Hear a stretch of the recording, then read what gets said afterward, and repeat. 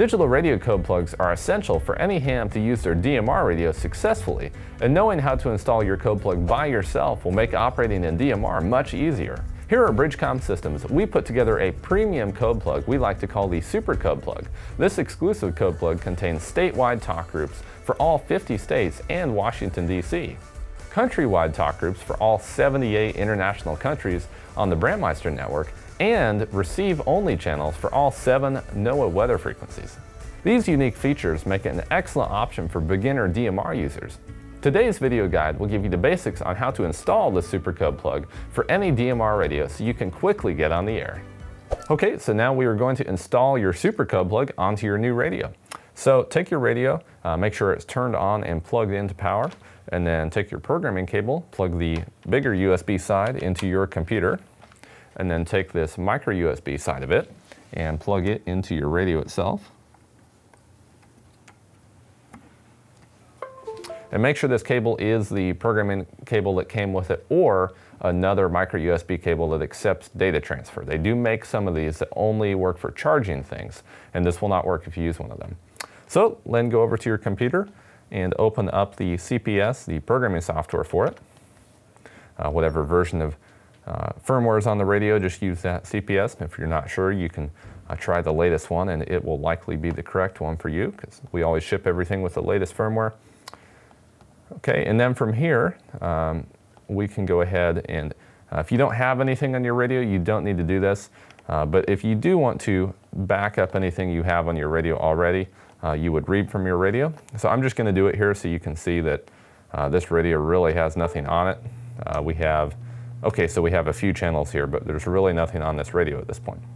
So then I'm going to go over to my web browser. And you can see I received an email from Bridgecom Systems after I got the super code plug, after I purchased it. I'm going to go ahead and click on that. Here we go. And uh, there we go. Look at that. US and International Hotspot Super Code Plug.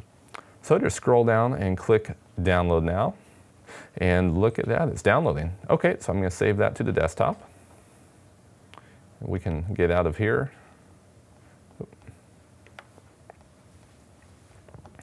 Then go back to your desktop. And you can see it is uh, in a compressed format. Uh, so just right click on that and whatever program you have for extracting zip files you can use. Windows has a built-in one that will work fine too.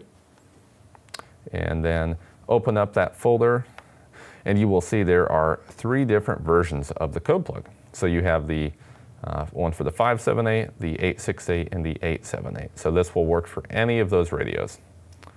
So we are going to go back into the CPS and go up here to this open. You can also do file and open.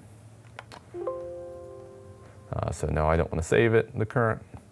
And then we're going to go up to our desktop because that's where we saved the file and then click on it, open up that folder.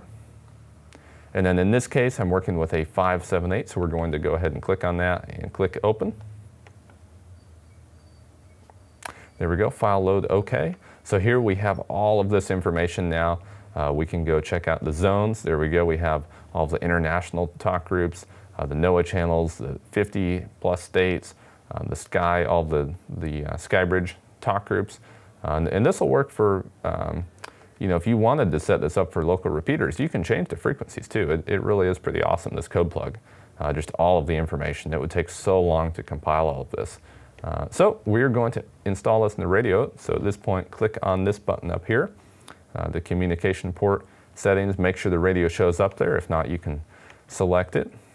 And then from here, yep, I do wish to continue. Uh, now at this point, you will definitely want to write the other data. Uh, now, if you want to import the digital contact list, you can download that list. It's always changing, so we don't include it in the supercode plug, uh, but it's really easy to, to uh, download. It's, it's public data, and you can import that in there. In this case, I don't actually have that list, so I'm not going to check that. And import.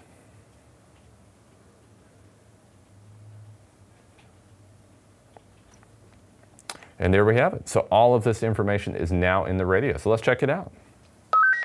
Okay, so here we are on the radio. Uh, so we can see the different uh, Sky USA, Sky Talk Group Disconnect, Missouri, net1, 2, Parrot, all of this information is in here. And then we should be able to change the zone. So zone up and down, there we go. We can see all of our international talk groups. There's the NOAA weather stations. We can scroll through them. And then here's all 50 of our states. You can see we can go through them there, and they're all in there. How awesome is that? Now this process will work exactly the same on the 868 and the 878 radio. Uh, really, they're all pretty much the same. The software is very slightly different. That's why we have those different uh, versions of the code plug, but the same procedure will apply. So as long as you use the correct one, it will work just fine for you.